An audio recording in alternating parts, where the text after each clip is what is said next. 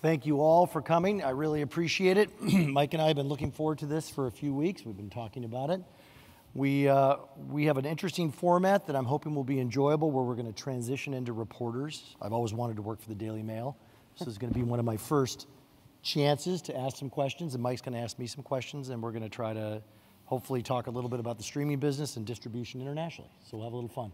So with that, why don't you introduce your presentation? Sure, reel? yes, it's great to be here. Thanks for having us. Um, we've got a short clip to show you a little bit about what we've been up to. It's been several years since Hulu has been represented here at MIP, and uh, this gives you a little taste of what we've been up to.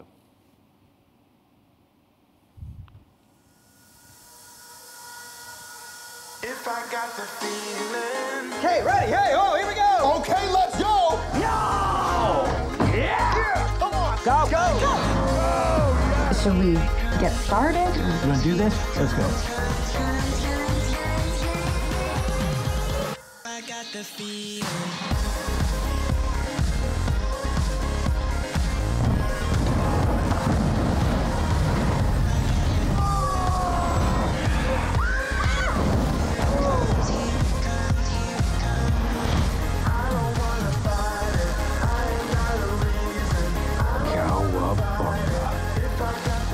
I look good.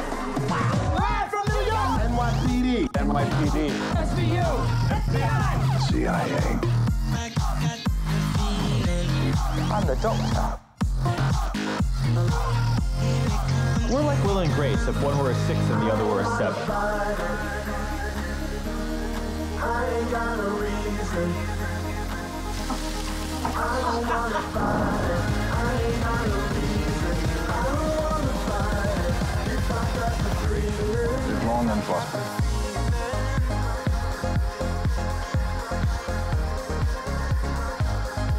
Interesting.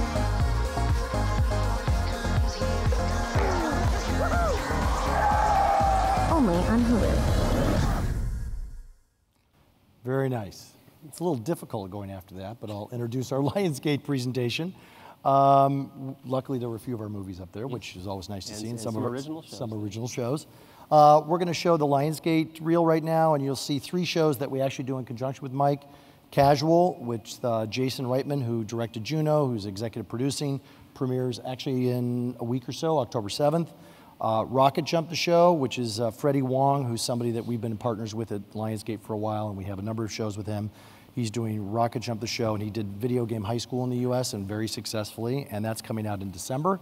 And then the last one, uh, Deadbeat, which was our first show together, and that's premiering. Season two has already premiered, and that is uh, one of the first shows I think you did uh, as an original scripted, and we're very proud of that. So with that, we'll show our reel.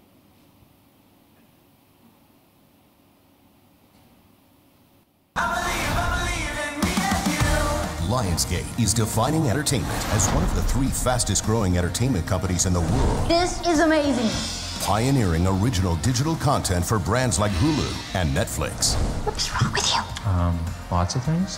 Lionsgate partnered with Hulu on their first original scripted series, Deadbeat, You talk to ghosts? I'm a medium. and continues to grow its partnership with two new digital series this year, bringing YouTube sensation Freddie Wong, whose content amassed over 1.2 billion views to date, to mainstream television with Rocket Jump, the show, and ushering in Academy Award nominated director Jason Reitman's critically acclaimed television debut, Casual. You use your own dating site. Bingo. Are you his date? Yeah. Okay, that's his sister. And they were shit talking us back here. In addition to producing Netflix's most watched show ever, Orange is the New Black, which catapulted them into the original space. This is just great. with 30 shows on 20 different networks to date, six Golden Globes, 29 Emmys, and over 200 nominations, with distribution partners in more than 275 territories and over 2,000 clients. Lionsgate is a leading supplier of premium scripted content to broadcast, cable, and digital platforms around the world. It's amazing. That's what I'm talking about. That is so kind.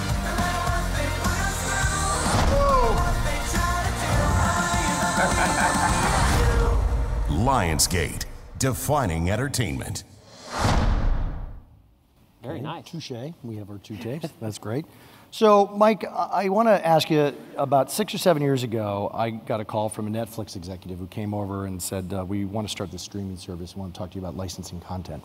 And they came over and we had a meeting, and the first thing they said was, Jim, we'd like to license everything you can't sell. And I, as a distribution executive, I smiled and said, Really, you want to license everything we can't sell? Yes, that's what we want to do. And from that moment till now, there's been a huge transformation. And Netflix, Amazon, Hulu have all spent hundreds of millions of dollars on ri- original brand defining content. And we've seen a big change in the marketplace versus that first meeting I had with Netflix. So, talk a little bit about how important that is, why there's so much money being spent, and, and how you see that progressing in the future. Sure, sure. Thank you for that. And it's nice to be here outside of a dark conference room negotiating Exactly. programming agreements um, with you. Um, so, you know, there's been so much change in, in streaming and television. Think about it, maybe the sharing economy is the, is the other place where there's so much change uh, disrupting markets that, streaming is doing for TV. Um, you know, when you look at consumer behavior and, and, and patterns of viewership, it's all changing so dramatically. When you look at the number of devices that are being adopted, particularly in the living room, uh, and all the different competitors that are, that are emerging. In fact, the last presentation, we learned about two new SVOD services launching. And so there's an array of choice. And so for us, when we look at the, the overall content portfolio that we have to have, original programming is very important. Uh, if you look back over the history of TV, particularly over the last 15 or 20 years, you can find defining shows that really set up brands in the US at least for television networks. If you look at The Shield at FX, if you look at Sopranos at HBO, um, South Park with Comedy Central, Mad Men with, uh, with AMC, and you can go on with a few others of like that. Um, those shows change those brands, change the direct trajectory of those brands, and really are now relevant to them. And of course, you got to follow up with additional hits. And so for us, we're looking for that show, and we think we've got a couple that, and hopefully uh, one of the ones Yep, from you will, be, will do that trick for us.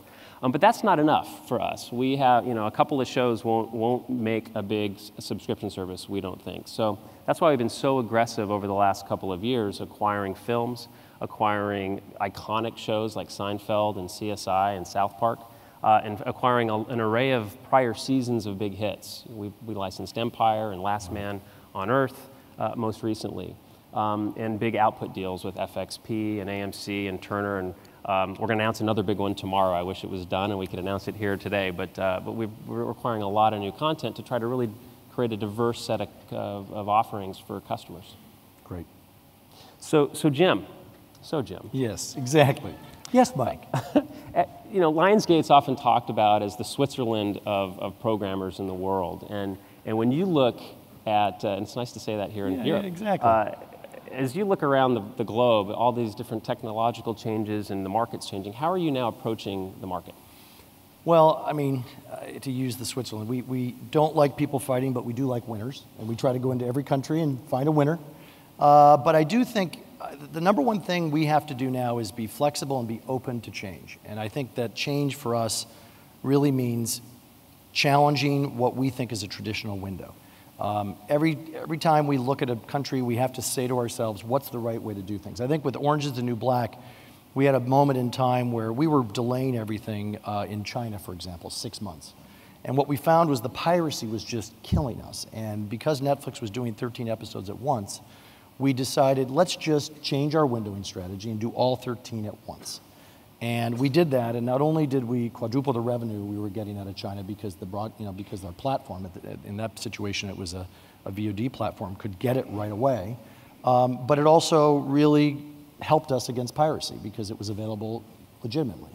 So things like that, uh, hot from the U.S. is a strategy that, you know, early on when I thought about putting something up for EST before it got a linear sale, and, and my team came to me and, and discussed that. I was a little suspect, you know, why do we want to do that? And, and the argument was, well, if it catches on and does well, you're going to, you know, have another place to put it. And sure enough, we did that for a couple shows and it worked. So I think for us, we have to go into it and really be open-minded to changing the way we think about what's a traditional window. And that's kind of how we're doing it. Interesting. So um, let's talk about international. We're here in France. It's a little wet, a little rainy, but we're here. Let's talk about your platform. I went on there and I noticed a lot of international programming. Uh, I saw Korean drama, some British, some Latin American product. And obviously, that's an area that you've put some emphasis in. So let's talk a little bit about that. And then the question I'm sure everybody would love to ask, which is, you know, how do you view the international streaming market?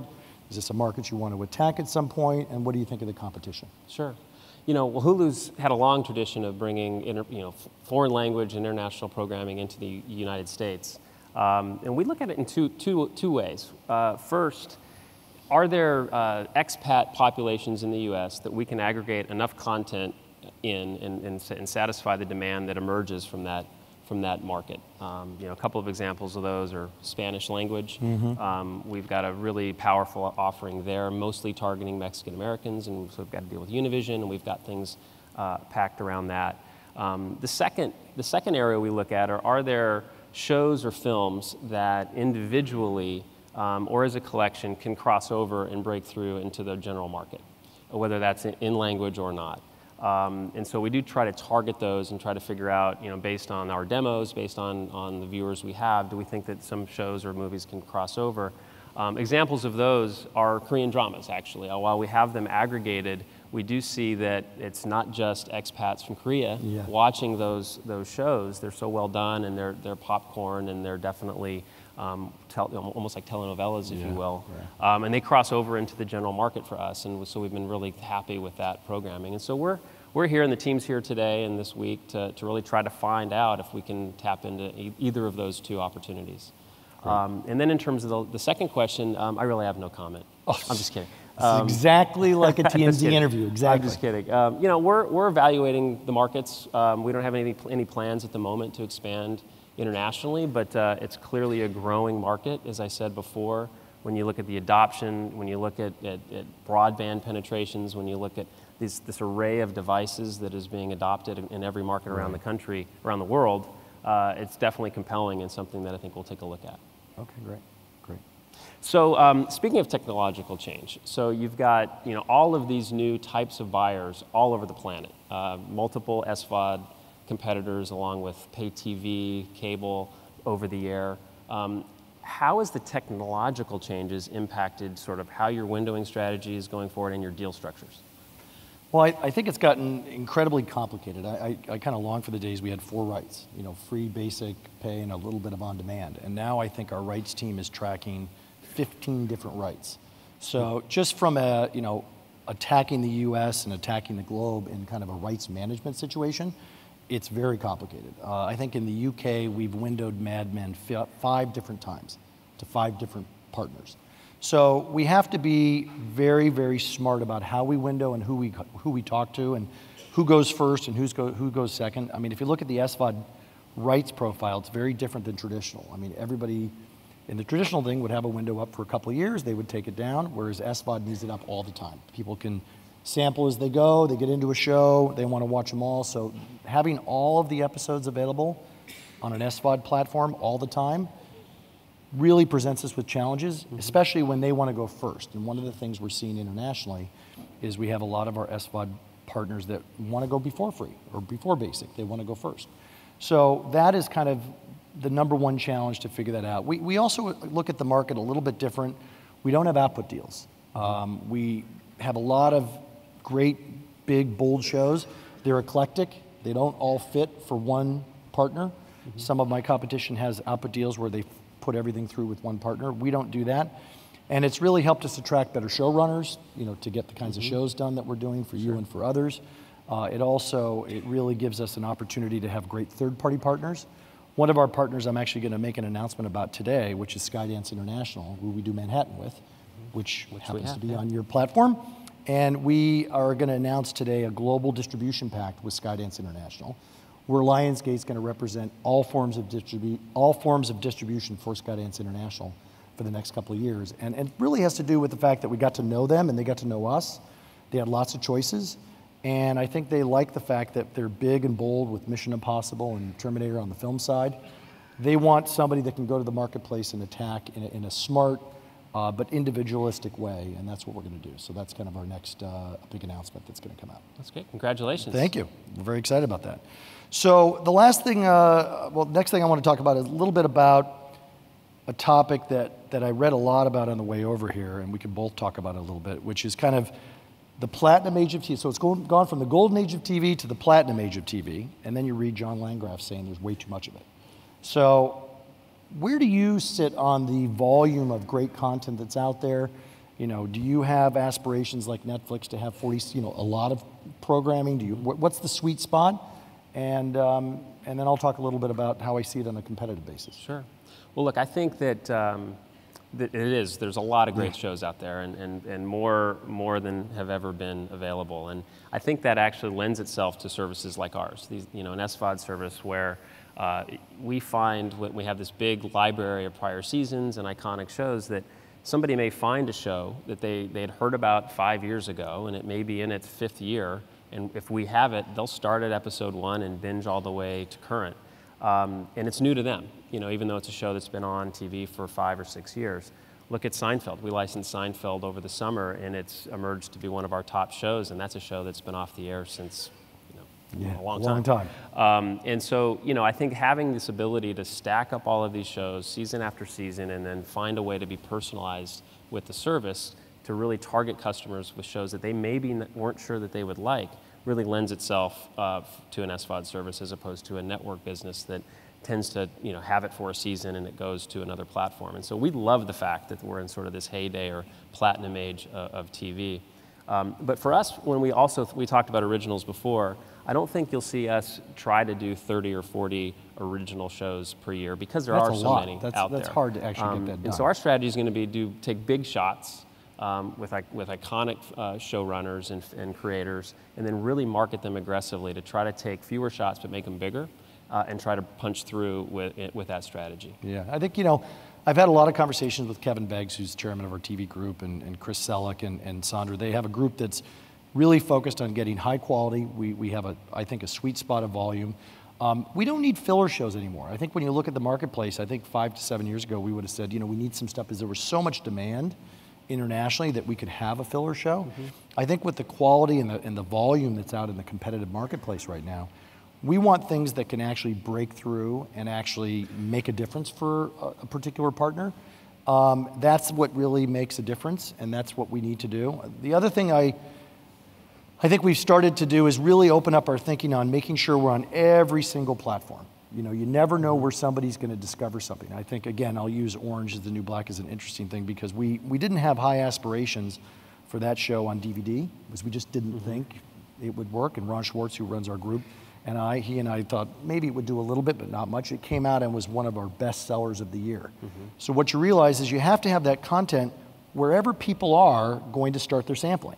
So if they're going to start it with a DVD in Walmart or Target, then you need to be there. And I think that's one of the things that competition and a lot of content out there is really forced us to do is make sure we're on, you know, every single platform. Yeah, and you mentioned filler shows, and I think that's that's actually a, a really interesting topic because I, I, feel like you either have to have a really good quality show or you shouldn't make it. And the market's going to tell you it's going to go away, right? Yeah, because right. because of this technological revolution where virtually every show is available to somebody in some format, whether it's SVOD or EST or DVD, people don't have to settle as a consumer. As a Yeah. consumer, you don't have to settle for that show that's programmed at that particular time, um, just because that's all that's on. Right. And and I think that's also leading to this increase in quality because the bar is getting higher and higher every day, um, because it is so competitive. For, And you have a lot of film talent that's getting into the TV space. I think that the the quality of talent, whether it's in front of the camera or behind the camera, that's wanting to get into television, is probably at the height that's ever been. And I think that you know shorter seasons, more creative flexibility on the production side, all that has contributed to I think a really good mix. You know, um, cord fraying, cord cutting, everybody talks about it a little bit. Then you look at the ad market, which is still, there's, you know, still billions of dollars of ad money out there trying to, to compete. How do you view the changing dynamic right now? You're in both spaces, so you're in the ad space and you're in the subscriptions, subscription space. So what do you think about the two and how they're going to change or, or you know, coexist over the next couple of years? Sure. Well, you know, we've recently announced uh, and launched a commercial-free plan to go along with our limited commercials plan in our subscription world, and um, we did that for a couple of reasons. One, we thought that, uh, well, our research told us that there were a lot of consumers that just wouldn't buy Hulu uh, if it had ads. Um, we also found that it was the number one reason people churned and canceled their subscription was the existence of advertising. Um, and so we launched the plan, and, and uh, w- but it was no means of, uh, for us to get out of advertising. In fact, Is it we- hard to message three plans? well, you know, we really, really only message two. So we have a, a free streaming layer, which is ba- basically available on a PC only. It's a limited amount of content. We look at that as an upsell mechanism to one of the two subscription plans. Um, but what we found is the vast majority of our customers are choosing the, the ad-supported subscription package versus the no commercials plan, which has been great because we've all simultaneously invested in, in programmatic advertising to really target advertising much more effectively to consumers. And so we're making that ad experience so much better on the limited commercials plan that consumers are actually opting to take that plan over paying more for no commercials. Um, and we really see the advertising in and of itself as a strategic advantage to us because our ARPU ends up being a lot higher than a lot of our competitors because of the advertising. And so we're really, really optimistic about that future. That's great. Well, when I think about um, the ad space, we're moving a lot of content into AVOD because we want to take advantage of that spot and, and want to take advantage of. We do think some of that money is going to transition. The, the, we're using different metrics now in, in how we sell things, and, and we're using things like, you know, word of mouth. We have indexes where we can get word of mouth on shows. You know, we don't get as much data from Sure. those of you in the SVOD space, so we have to create data for ourselves to use internationally. So we're, we're creating ways to not only convince international broadcasters that our shows will rate and they can get the ad dollars, um, we're also really focused on cast now. It's interesting. We're, we're really a lot more focused on who's in the show because that really helps us get through the clutter. And then the last thing I think has changed uh, in a pretty big way, which is being able to go day and date internationally. That's another thing for us that's become uh, kind of a data point that we really look at. If we can produce a show so that we can deliver it in time with either dubs or subtitles so that an international partner can go at the same time our US partner goes, um, that really helps us internationally. And so that's actually affecting how we produce shows, how we sell shows, and what we look at as far as uh, our metrics. And so it's kind of interesting. what, what kind of metrics do you, do you find are the most valuable? From, as you, you get, you're getting, I assume, a lot of metrics from your It's not as. I mean, it's ratings, it still is ratings, but a lot of times we don't have ratings, so we have to come up with different ways. Uh, I'll use, for example, Orange is the New Black or DVD sales. I mean, because we're outselling the back end of Orange is the New Black, Orange is the New Black right now. And because we don't get metrics off of Netflix, we're using other data points. Um, we're using Twitter feeds. We're using so many different pieces now, and we pull them together um, and, and use as much of that as we can because it's, um, you know, you have to be scrappy if you don't get the data. Still matters if you get good, good ratings, but plus seven matters now more than ever. I just saw Nashville, which is our, uh, you know, one of our new shows that, are not one of our new shows, but it has a new season, and our plus seven was up something like 40%. Yeah. I mean, that's a major change for us. And so we won't go out with day one. We'll wait a little bit and, and make sure we use the right kind of stuff. So that's kind of the, the next. Yeah, I think thing. plus seven is probably not the right metric going forward either. I mean, you think of Nashville by way of example. We have Nashville, we, we have it in the library, and we have the current season through our ABC relationship. And you can see people watching Nashville three weeks, a month after the, Yeah. the episode aired. So it's My almost like you want to see a, a, a measurement over the course of a season Yeah. or over the course of a year, and, and, and those impressions and, and views pile up over time. Yeah. So let's just talk a little bit about bundles and what we see, and obviously we can talk a little bit about international and mm-hmm. domestic. You know, I think there's more written about stuff than than's actually happening, quite frankly, right now. But it is starting to change, and you know, with with Disney's announcement of what was going on with ESPN, mm-hmm. there's definitely been some changes. So what do you see over the next couple of years as far as the bundle, and and if you can think about it in the U.S. and then internationally? Sure. Well, sure. I mean, the U.S. is, as you know, a pretty unique marketplace where you've got um, what 80, 90 percent, 90 percent penetration of the big bundle. You know, that can cost anywhere from 60 to 80 dollars a month per per home. And uh, th- as has been reported, there seems to be some fraying of the bundle a little bit in the U.S. Um, most of the, you know, the broadcast content is easily available with an antenna over the air, and now you've got customers that are starting to look around for other alternatives online, whether it be Netflix or Amazon or Hulu, uh, and other and other options. Um, but we still, I still think that the broad, you know, the multi-channel bundle in the U.S. is going to continue to thrive and be a, a meaningful business for many, many years to come. Although it's going to have some stress on it. But I think what consumers are starting to realize is there is another option that you can add to that bundle via over the top, and we see most of our customers adding to the bundle, not switching off of it and coming directly as cord cutters. But, but because of that, I think that's why shaving is maybe a bigger issue. Yeah. Um, you see HBO and Showtime going over the top, and so now as a cable customer, you, you don't have to buy it from your MVPD. You can go and purchase it through, uh, in the case of Showtime, you can purchase it through us, or you can purchase both of those products through iTunes or, or another, another offering. And so I think there's definitely this choice and this technological um, revolution, really, I think is going to put pressure on all those kinds of businesses, certainly in the US. Yeah, I, I think it's, you know, I hope, and I think we're making a couple plays, that it's going to be slight shaving where somebody might have a bundle for 80 and they go down to 70 and then they buy Hulu, they buy Netflix, and we're starting a couple of SVOD services ourselves with Comic Con and with Tribeca Shortlist. So we think some of these very targeted, branded services, if they're priced appropriately, Yep. um, someone can still get all the value out of the bundle, but if you happen to be a Comic Con fan and you, you know, that's something that you're into, you can really add that on. And so you may, at the end of the day, still be taking $80 out of the ecosystem, maybe even more, but you'll have a, a- a service that's a little bit more tailored to your own needs and your own, your own likes. And I think that will be good for the business long term. I do. I think that base MVPD package in the U.S. is solid. I think it's the add-ons around it, whether it be you know those types of niche packages or the fill screen ones we heard about. Exactly. There's there's going to be a lot of options for people to add on that two, three, four dollar uh, option on top of their bundle, uh, and they just they just may not do it through the MVPD. Exactly. All right, well, I have one minute left. I'm going off script. Okay. So let's talk about movies. Yes. So you just made a big commitment to Epix. Mm-hmm. Uh, it was exciting to see it up there on the screen. Uh, talk a little bit about you have you, you have originals, you have acquired, and now you have a, a big film library. Talk about how that works in uh, in what you're offering to the U.S. Sure. Well, when we looked at, uh, we, we talk to our customers every day, we do lots of research, and the number one category of um, programming that our customers were telling us we were lacking in, and they didn't have to tell us because you had to look at the service Yeah, to know that, yeah. that we were lacking in, it was films. And so, you know, we, we really looked at that as an opportunity to really take a big step forward in our film offering. We have the Criterion Collection, and we have some smaller uh, output deals that we have to fill in around it. But I think we're going to be a little more aggressive over time in terms of increasing the level of films and the volume of films that we have. Um, we think it's important. You know, it's a, it's a big it's a big category, and if you're in an S, you're in an SVOD service, you have to have both TV and films. Yeah. Well, we're very thankful for that. Anyway, thank you very much, everybody, and have a great MIPCOM, and uh, we look forward to seeing you uh, outside. Great. Thank you.